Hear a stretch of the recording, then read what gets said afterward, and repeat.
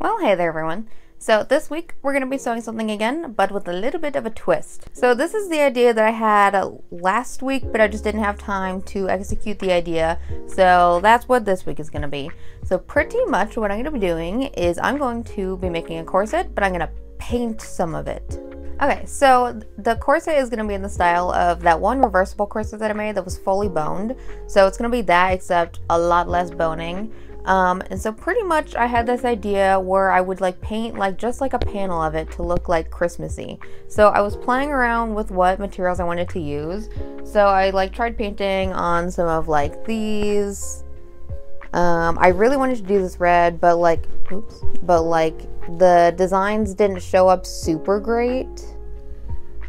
So I was gonna do the red, and then I think I finally landed on the white because it just shows up the best. So yeah, that's the idea. We're just gonna do some little Christmas stuff, get in the Christmas mood. Uh, I have one more thing that I wanted to do this month, but I don't know if I'm gonna have time to do it because I have a lot of things that I need to do. One of the things being, I am crocheting my family stockings for Christmas.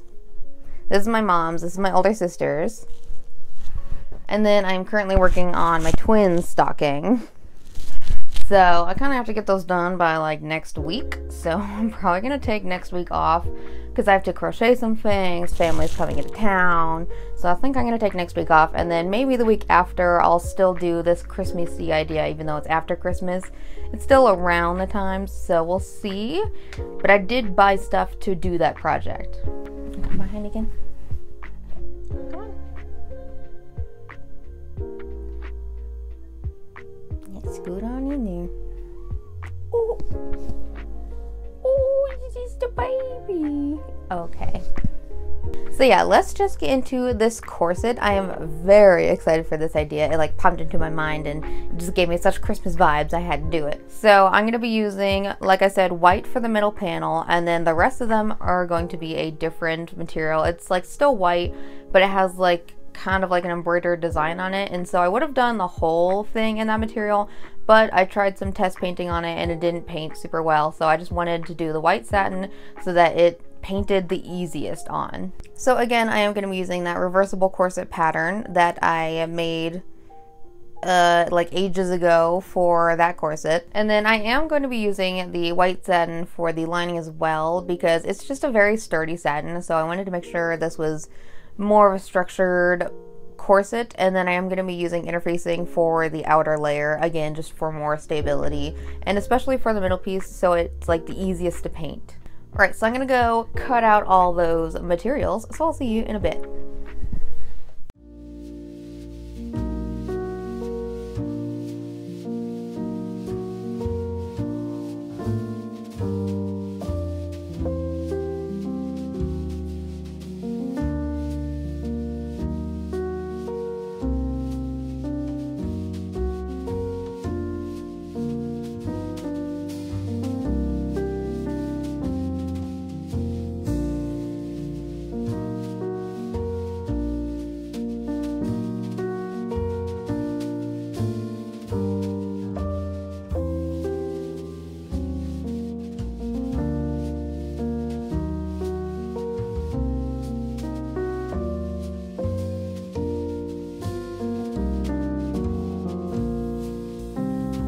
Alright, now it's time for the construction of this bad boy. So it's going to be a pretty simple construction. You're basically just putting all the pieces together. So once I have fused the interfacing to the outer fabric, I'm just going to start sewing everything together. So everything that you see me do to the outer fabric, I'm to do the same exact thing to the lining. So I'm to see you after all that.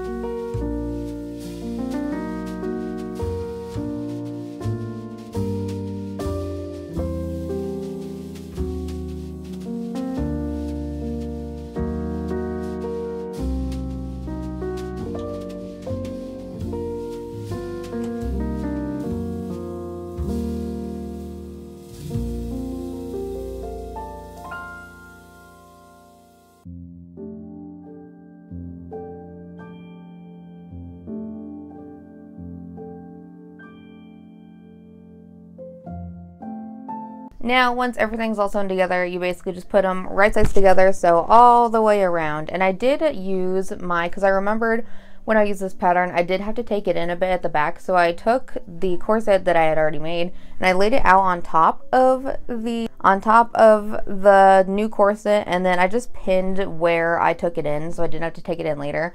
So I've already pre-taken it in. So if you see that I am sewing like this much on the edges, that's why, because I had to take it in a bit. So yeah, you just sew it together all the way around and then you clip the edges and then turn it right sides out. Now I think a key thing to this bodice and what I should I should be using more often is a walking foot. So I did remember that we did purchase a walking foot like months ago. And so when I started to sew the outer fabric and the lining together, you could tell that like it's just too much material and it just started like scrunching up and immediately I was like, oh no. So, and then I remembered that we had a walking foot, so I attached it to the machine. Thank God it was compatible with my machine. And then that literally saved my project because otherwise I don't think it would have sewn together super well. Um, there's just there was just too much material and the interfacing was making it kind of weird. But with a walking foot, I saved it. So I recommend purchasing a walking foot, especially if you're sewing a bunch of these things. So I'm gonna see you after all that.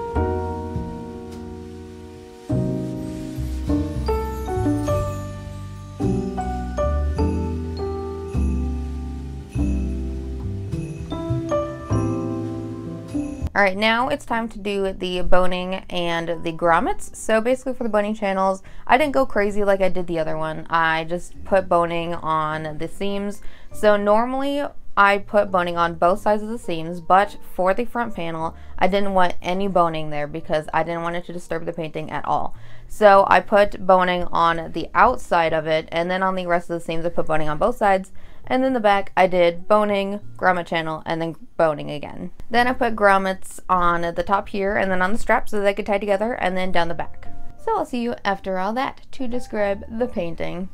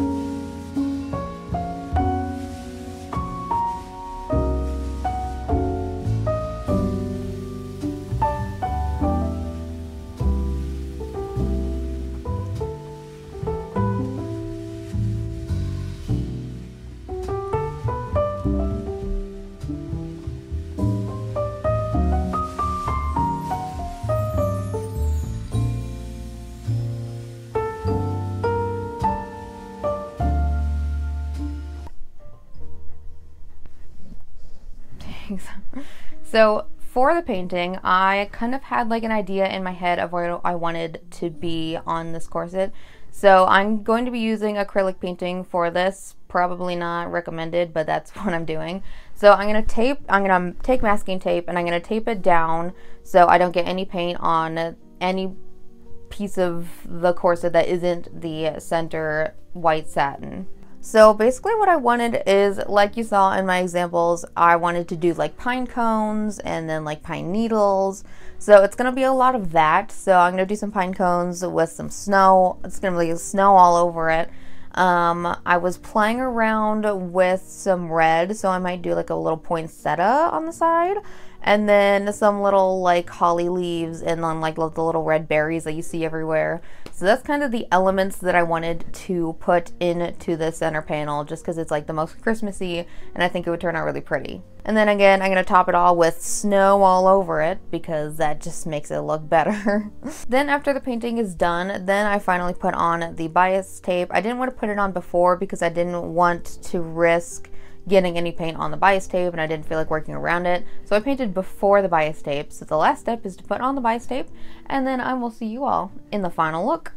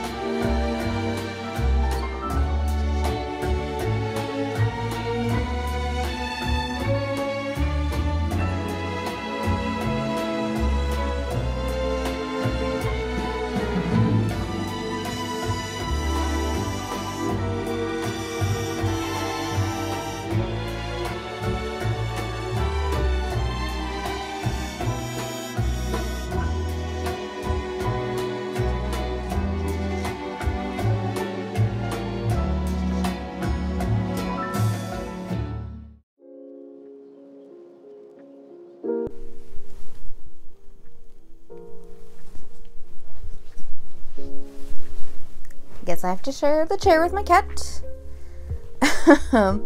anyway, so I think this turned out really freaking good. I am impressed by my own painting skills.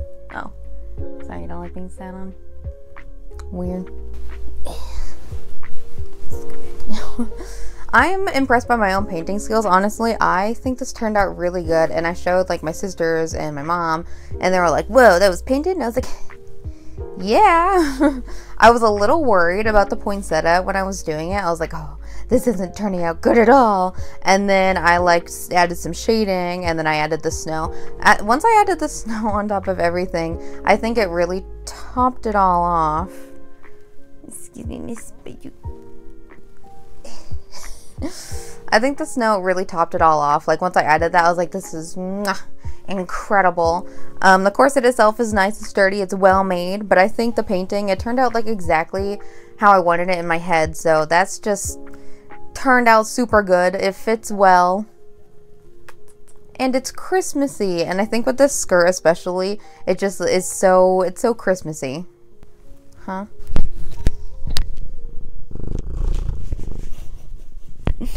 Oh, very nice. The smell? No, you, you can't hang out on me though.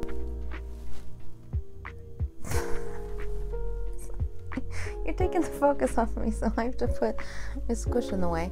Okay, anyways. So, yeah, I think all together this just turned out really, really pretty and I'm very glad that I was able to do this. I think the painting went on super easy on the satin. Um, I didn't have like any problems with that. I was a little nervous when I started because the paint was like not like painting like it would go away really quickly. And then I switched brushes and then it stayed really well so. So I think the painting turned out really well and then I was able to do lots of shading because it stayed wet for a little bit so I could do that. And I just think it turned out pretty good And like I know there's like a big open area in the middle, but I kind of wanted to leave it like that because I just wanted the edges to have the little things popping out. I feel like if I added anything else in the middle, it might be too much. So I think I just like it the way it is. Um, I was so nervous about this poinsettia, but it turned out really good. the pine cones, I think, are my favorite part. That's what I was practicing on. That was like the first image I had in my head was to do the little pine cones with a little snow on it, and it turned out really good. I was kind of nervous starting out because like I did this whole course and I was like, oh, if I screw up, then I screw up, but I didn't.